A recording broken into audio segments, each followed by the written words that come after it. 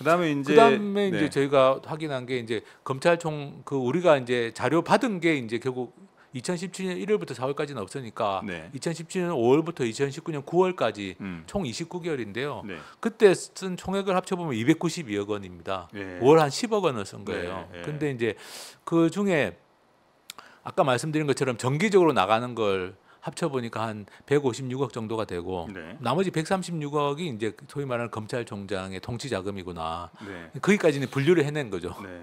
어. 검찰총장의 통치 자금이 어느- 어느 정도 된다. 이거는 파악을 했고. 네.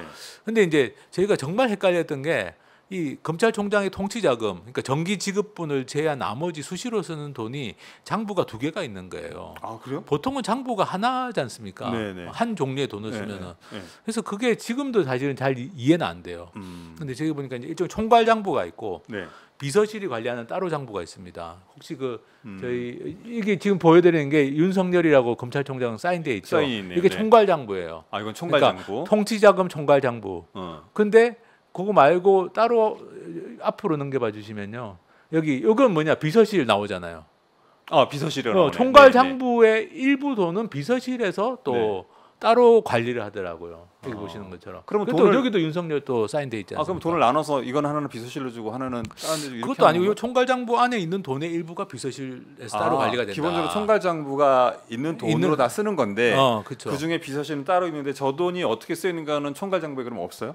저기나 총, 총괄 장부에서는 5천만 원씩 이렇게 빠져나간 게 있는데 그게 이제 절로 간 절로 것 가서. 예. 따로 또 쓰이는군요. 어, 그러니까. 그러니까 장부가 두 가지가 있다는 게 일단 음. 너무 이상하고 음. 왜저 비서실 장부가 따로 있을까? 네. 어, 아, 어, 그거에 이제 9월중 집행 음, 네.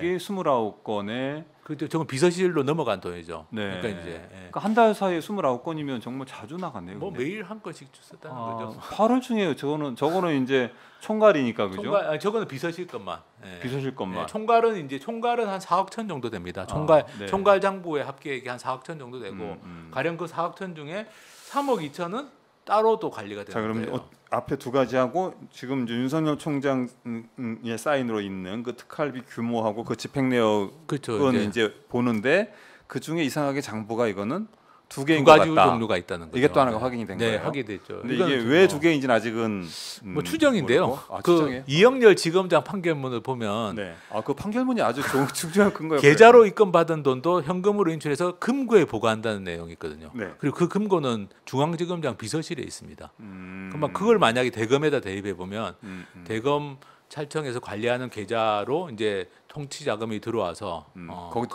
다른- 바로 나가는 현금화해서 바로 주는 것도 있고 음, 그게 금고에 아니라 들어가는 돈도 금고에. 들어가는 돈도 아. 있고 이럴 수 있죠. 그럼 그런 것들은 어떻게 쓰이는지 모르지만 거의 총장의 쌈짓돈처럼 쓰였을 그러니까 가능성. 그 이영렬 판결 보면 중앙지검장도 금고에서 야 돈 봉투 만들어 오세요 음, 하면은 음. 이렇게 만들어 온 걸로 돼 그돈 있거든요. 비서실 직원이. 어, 그럼 여기 음. 또 검찰총장도 비서실에서 관리했다는 건 네, 어쨌든 수시로 검찰총장이 가져오라면 가져갔을 수가 있죠 네. 현금으로. 네.